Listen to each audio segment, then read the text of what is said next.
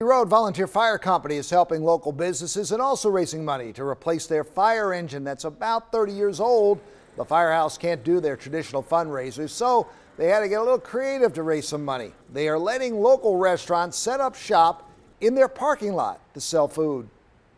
The food truck thing is something that the community supports. Uh, they like the food truck idea. It gives them a chance to come out of the house and, and come up here to the firehouse and support us. And the fire company will get a portion of the sales from each food truck.